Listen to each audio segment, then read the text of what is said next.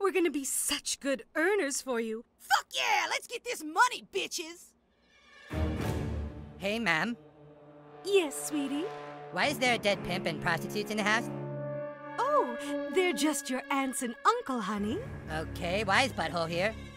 I left some sugary snacks in the kitchen for you, sweetie.